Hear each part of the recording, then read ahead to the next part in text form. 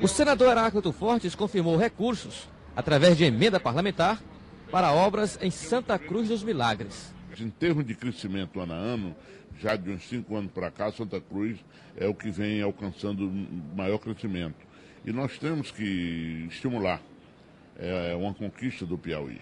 É um santuário de fé que é procurado por pessoas de todo o Brasil. O senhor conversou com parlamentares do PMDB, por exemplo, da oposição, com a deputada Ana Paula, a governistas e pré-candidatos, como o secretário Antônio Neto, 2010, na discussão?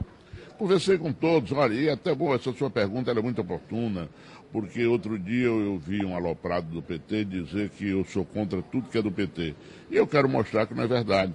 Eu sou de um partido, o Antônio Neto é do outro partido, ele é secretário de Fazenda, é uma peça mais importante, é candidato a governador, mas eu converso com ele, ele é uma pessoa séria.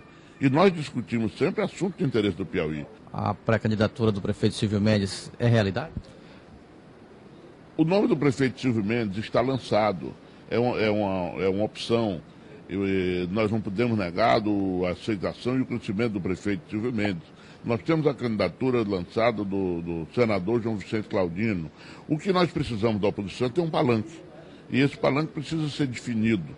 A base do governo tem um palanque montado, a base do governo faz campanha toda semana, anuncia toda semana o que a gente sabe de antemão que não vai fazer, que tudo é balela, mas está fazendo palanque, está fazendo campanha. É preciso que a oposição tome rumo. Relação complicada só mesmo no partido.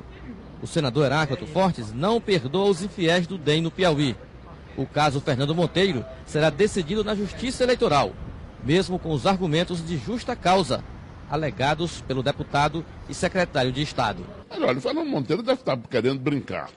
Ou com a opinião pública, comigo não é, ou então com a justiça. Fernando Monteiro juntar documentos só se for a figura do corno traído, porque a única coisa que o DEM foi nesse episódio foi traído, corno traído. Aquele corno que é consciente, que não, que não protesta de nada. É a única documentação que ele pode juntar contra o DEM passou quatro anos como parlamentar eleito na, da base do DEM, servindo ao governo. Aliás, essa parte é muito boa. Mostra que o PT não tem competência de colocar, de formar quadros para secretário e vai buscar onde? No DEM que ele mais combate, o que mostra uma incoerência e a opinião pública tem que prestar atenção a isso. Agora, o rumo que o Fernando Monteiro tem que tomar só cabe, só pertence a ele. Agora, ele tem que correr o risco, assumir as consequências. Porque nós não temos força, Elivaldo, é bom deixar bem claro, de exigir que um suplente de deputado não requeira o mandato.